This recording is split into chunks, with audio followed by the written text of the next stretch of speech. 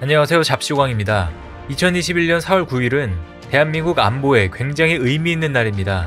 우리 기술로 직접 개발한 전투기로 우리 영공을 지키자라는 꿈에서 시작한 한국형 전투기 개발 사업은 KF-X라 일컫습니다. 지난 2002년 합동참모회의에서 사업이 결정된 지 약 20년 만에 KF-21 보람의 시제기가 정식 출고된 것입니다. KF-X 사업에 본격적으로 청신호가 켜진 것인데요. KF-X 사업은 체계 개발 궤도에 오르기까지 그야말로 파란만장한 시간을 거쳤습니다. 진행 과정에서 타당성 검토를 통과하지 못하는가 하면 예산 관련 문제가 불거져 위기가 있었지만 결국 우리 스스로 놀라운 결실을 맺어냈습니다.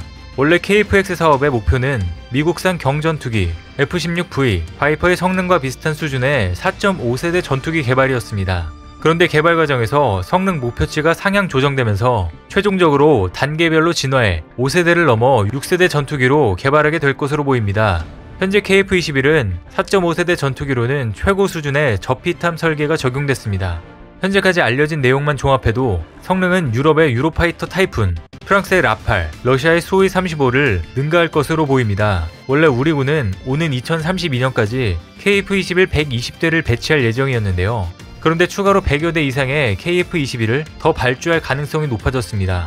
KF-21의 120대 양산이 끝나는 2032년에는 KF-16 전투기가 도입된 지 40년이 경과된 시점이 되기 때문입니다. 즉, 대체기가 필요한 상황이 도래한 것인데요. 우리 군으로서는 향후 KF-21급의 가성비를 갖춘 전투기 모델이 나오지 않을 가능성도 배제할 수 없기 때문에 KF-21 추가 양산을 선택할 가능성이 높아 보입니다. 앞으로 미국에서 나올 차세대 전투기들도 있겠지만 운용 유지비와 가동률 측면에서 보면 KF-21을 따라올 수 없을 것으로 예상됩니다. 실제 우리 군은 2014년 KF-21 회의에서 쌍발 엔진형 전투기를 개발할 경우 기존 120대에서 총 300대까지 늘릴 수 있다는 입장을 밝혔었습니다.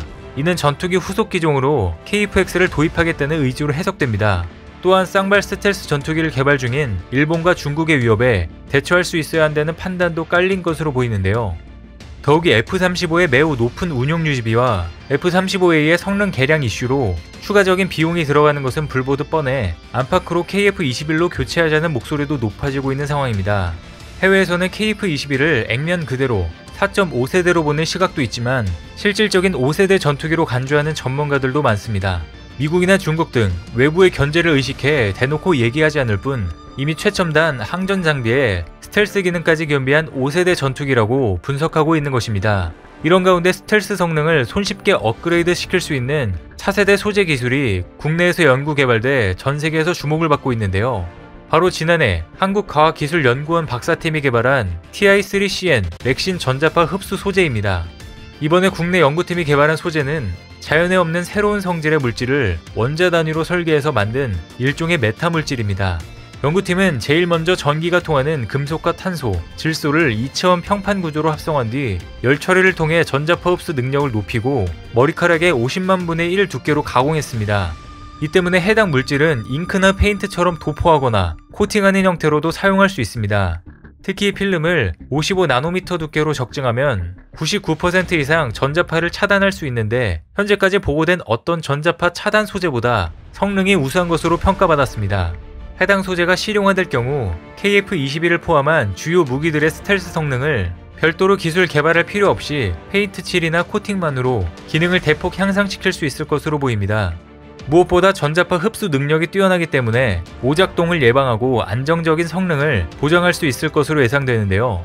전함이나 전투기, 탱크 등의 군사 장비에 적용할 경우 스텔스 성능이 극대화될 것으로 기대됩니다.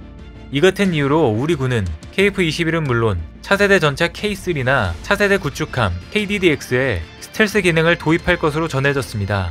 미국에서 한국의 스텔스 기술력에 감탄을 자아냈다고 하는데요. 이처럼 군사 장비에 빨리 적용하기 위해 현재 국내에서 후속 연구도 활발히 진행 중입니다. 연구 개발에 따라 기존 전투 자산들에 대해서도 저피탑 능력을 부여할 수 있을 것으로 보입니다.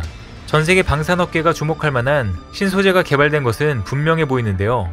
뿐만 아니라 우리 군이 스텔스 무인 정찰기 도입 연구에 돌입한 만큼 이른 시일 내에 또 다른 반가운 소식들이 전해질 것으로 보입니다.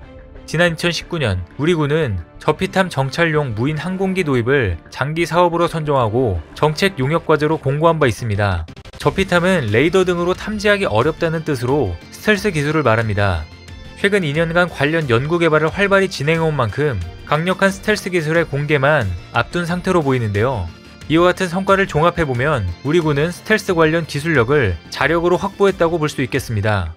그런데 이런 상황에 KF-21 블록 1이 배치도 되지 않은 시점에 블록 3가 공동 개발되고 있다는 소식이 전해졌습니다. 이 소식의 주변국인 중국, 일본은 한국이 어떻게 저런 수준의 기술력을 갖고 있냐며 깜짝 놀라고 있는데요. 앞서 KF-21 보람의 사업은 촉박한 일정 등을 고려해 단계적인 개발 계획을 채택했었습니다. 그런데 예상과는 달리 이번에 공개된 KF-21은 블록 1이 생산됨과 동시에 곧바로 블록 2가 등장할 계획이라고 하는데요. 뿐만 아니라 블록 1이 배치되지도 않은 상황에서 차차기 버전인 블록 3와 무인 전투기 UCAV가 공동 개발되고 있다는 소식도 전해지면서 중국과 일본은 그야말로 패닉 상태에 빠졌습니다. KF-21 사업 초창기인 2014년 국방과학연구원은 KF-21 블록 1, 2 계획과 KF-21 블록 3의 개념도 함께 공개했었는데요. 당시에는 블록 2에 대한 구체적인 계획은 물론 관련 예산 편성도 없었지만 불과 몇 년도 안 돼 놀라운 성과를 낸 것입니다. 일반적으로 항공기술 개발은 최소 5년에서 7년 소요된다는 점을 고려하면 한국의 항공기술력은 압도적인 것으로 평가할 수 있습니다. 여기서 그치지 않고 현재 우리 군은 한국형 스텔스 무인 전투기 UCAV 개발 사업을 활용해 KF-21 블록 3와 무인 전투기에 사용할 수 있는 매립형 전자광학 조준 장비 등 다양한 스텔스 기반 기술 개발 일정을 계획해둔 상태입니다. 최근 시제기 출고식을 거친 최초의 국산 전투기 KF-21 보람에는 오는 하반기에 윤곽이 드러날 전망인데요. 이처럼 보람의 개발에 속도가 붙는 가운데 보람에는 단계적 성능 개량을 통해 5세대에서 6세대까지 진화적 개발을 하는 계획을 갖고 있습니다. 현재 보람에는 4세대 전투기인 KF-16을 능가하는 4.5세대 전투기를 목표로 개발되고 있습니다. 오는 2026년까지 공대공 능력을 갖춘 보람의 블록 1이 개발되고 2028년까지 공대지 무장을 겸비한 보람의 블록 2가 개발될 예정입니다. 그런데 2028년 이후 보람의 블록 3로 추가 개량을 하는 방안에 대해 아직 공군은 공식적으로 소유 제기를 하지 않은 상태인데요. 따라서 카이가 2028년 이후 보람의 블록 3 개발에 대한 소유 제기를 이끌어내려는 수순을 진행할 것으로 보입니다. 애초에 우리 군이 보람의 개발을 추진했을 때 4.5세대를 뛰어넘는 5세대 이상의 전투기로 단계적 개발하는 가능성을 고려했기 때문입니다. 실제로 보라매를 완전한 스텔스 영상에 5세대 전투기로 진화시키려면 무장뿐 아니라 주요 탐지 장비 등도 통합해 내장해야 하는데 이미 기반 기술을 확보한 것으로 알려졌습니다.